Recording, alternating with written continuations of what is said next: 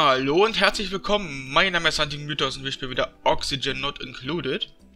Ich habe mir mal gerade einen kleinen Überblick verschafft.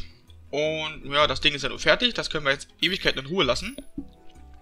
Und habe festgestellt, dass Toiletten ist total mies und Sauerstoff ist eigentlich auch totale schlechte Idee, wie wir das hier aktuell machen. Und das sind jetzt die nächsten Ziele tatsächlich. Ich würde sagen, Sauerstoff bauen wir hier unten und Toiletten stellen wir auch woanders hin. Ich könnte mir fast vorstellen, hier oben hin.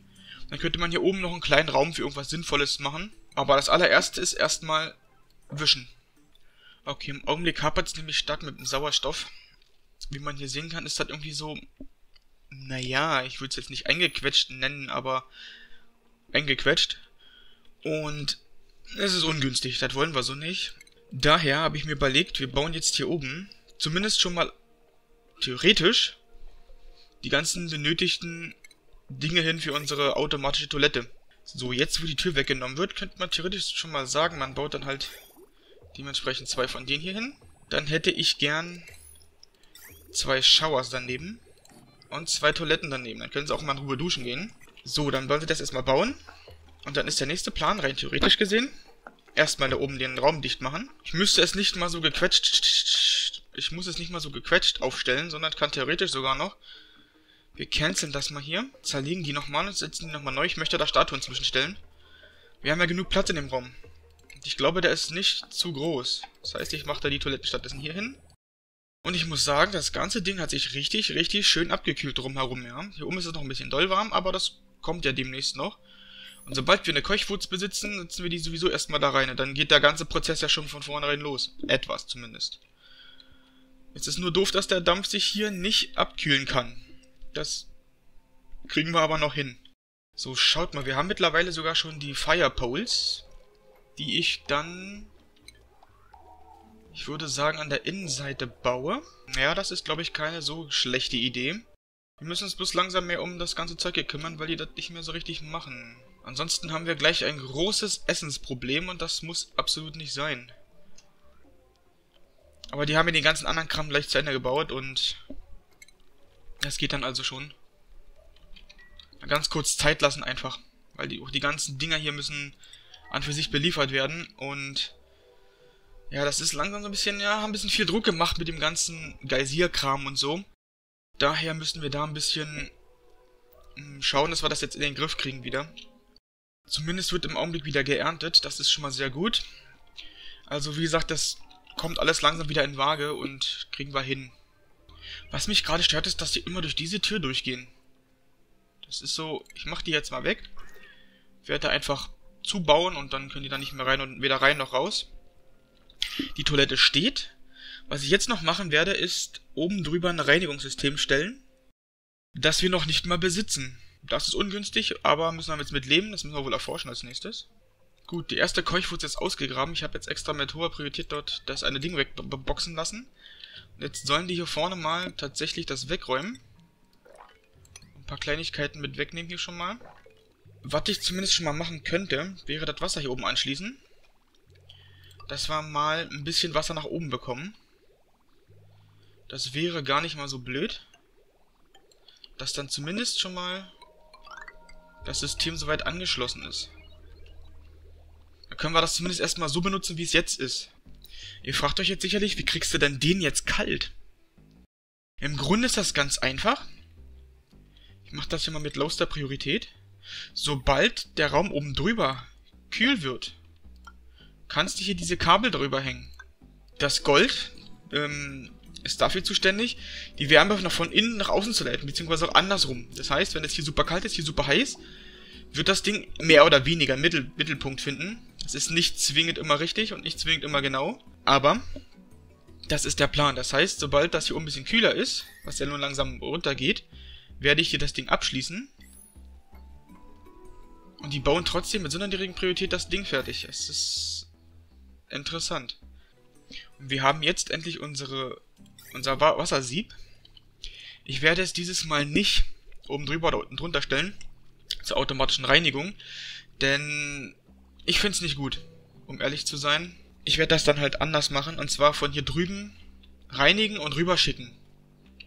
das Wasser hier so hochschicken und dann können wir das hier drüben benutzen für diese ganzen Sachen. Ich könnte im Grunde das gute Wasser in den Geysirpumpen rein, theoretisch gesehen. Dann würde ich sagen, ich hätte hier vorne gern das Ding so hingestellt. Mesh-Teils drüber. Und erstmal eine hübsche Leiter dran.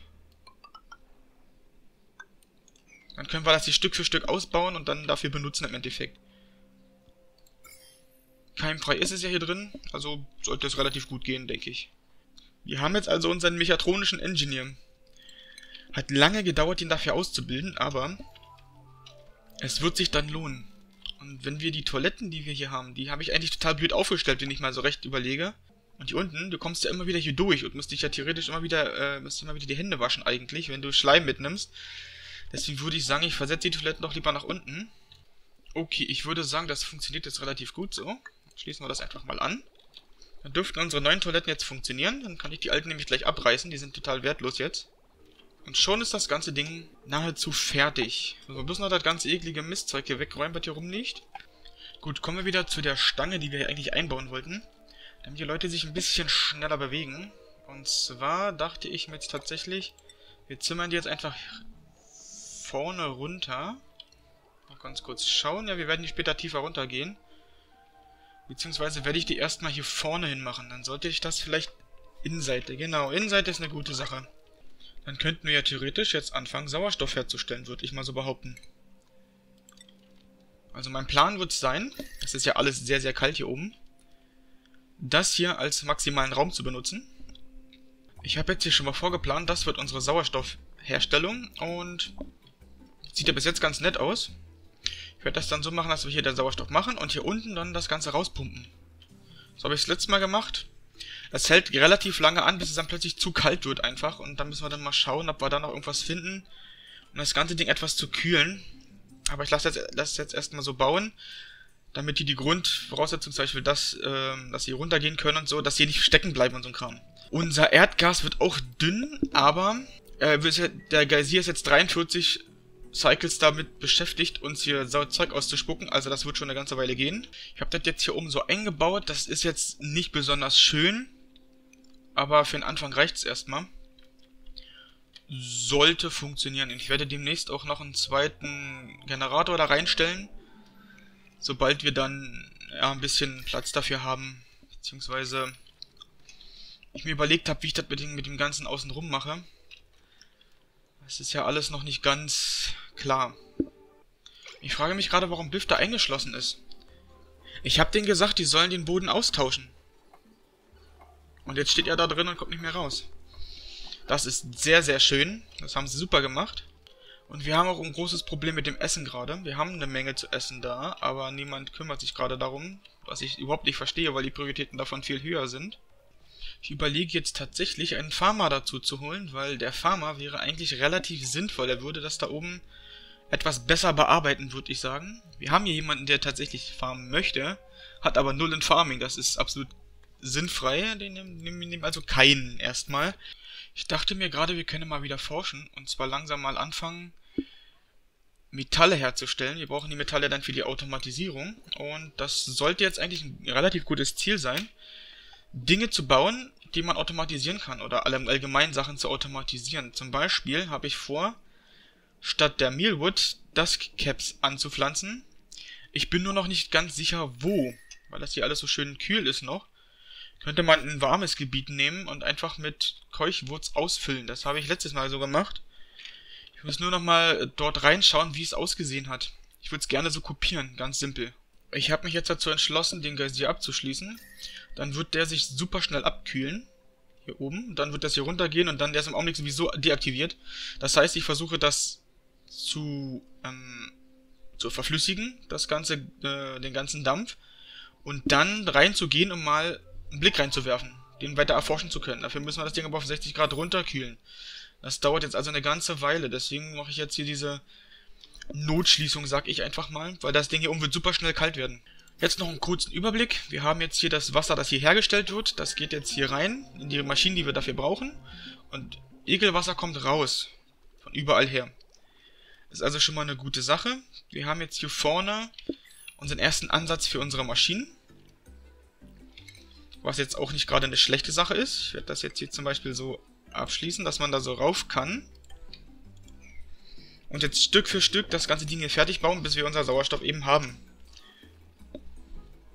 Das heißt, das ist der Plan fürs nächste Mal, dass wir das dann hier komplett fertig bauen. Das nächste Mal, hoffe ich, würde ich gerne hier vorne den Raum erweitern. Der ist so ein bisschen äh, umbauen, sag ich mal.